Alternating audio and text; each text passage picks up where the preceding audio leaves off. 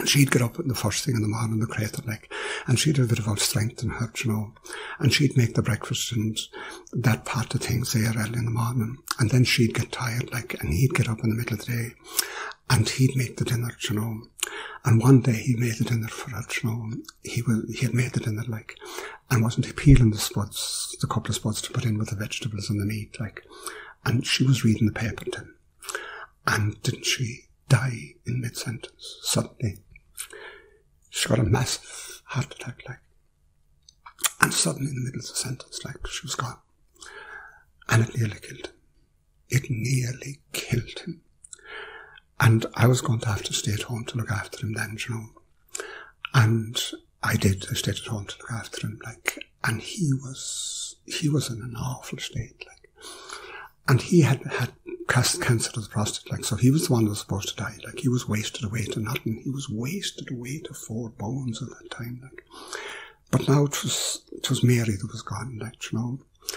And I remember John Barrett, my brother-in-law from Linmore, you know, Madeline's husband, you know, when we went down to the grave, like that day in Galebridge Cemetery, you know, John Barrett said, Jesus, we might as well stay in our Sunday clothes now because we'll have to come back to bury him tomorrow, like watching him looking down into the grave after Mary, his wife, like.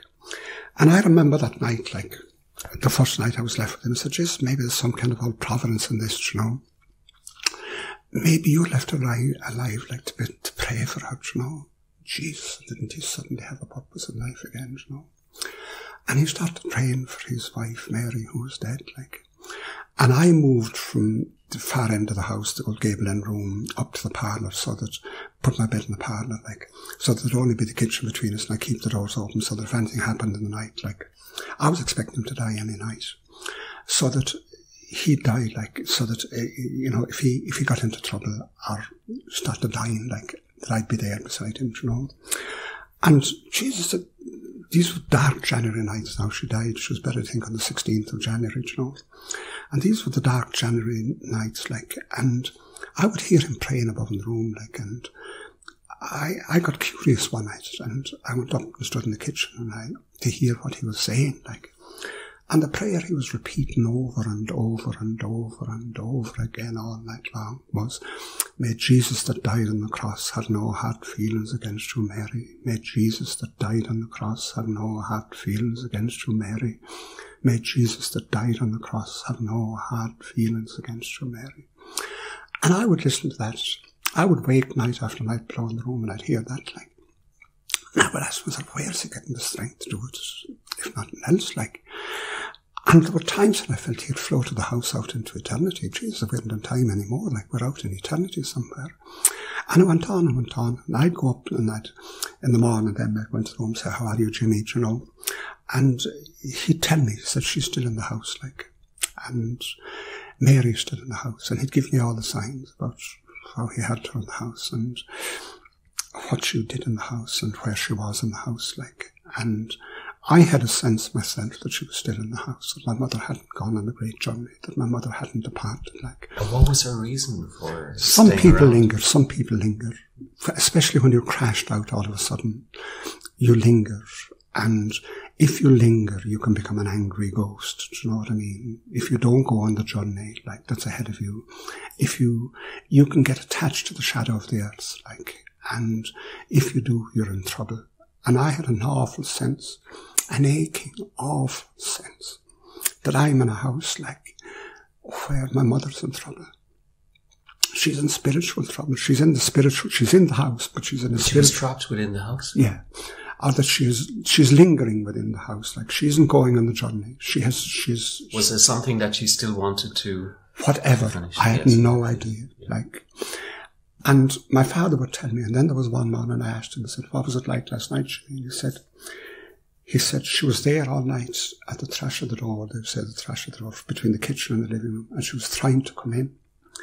And he said, but it kills me now to say it. Like, he said, she has had landlords now, John. They were slashing her, you know.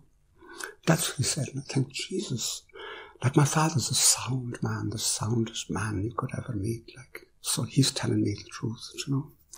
And I would go down and read the Tibetan Book of the Dead, like, and the very same kind of experiences that my father was was understanding my mother was going through. I'd read about them there, you know, in the time between death and rebirth. Do you know what I mean? Exactly that. You hear slash, kill, slave, and all that kind of old stuff, like in what they call the Bardo stage, you know, in the Tibetan Book of the Dead, like.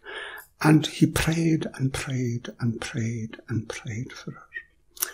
And then one morning, and that was the prayer, may Jesus that died on the cross have no hard feelings against you, Mary. And then one morning, about six months later, I went up and he said, she's gone now, John. And he stopped. Now, can I tell you, Morris, that I was present for that six months. And it was the greatest requiem in the literal sense of a requiem mass that any human being has ever performed for another human being. He went down into eternity after my mother. I'm sure of it. He went into hereafter after it, like, and he laid her soul to rest, like, he guided her to the right place, like, you know, and we have a requiem mass for the dead, like, requiem means rest, requiescat in pace. My father, I am certain of it, granted rest. He's, he wasn't a priest, but he performed a requiem for my mother over six months, you know and now she's gone.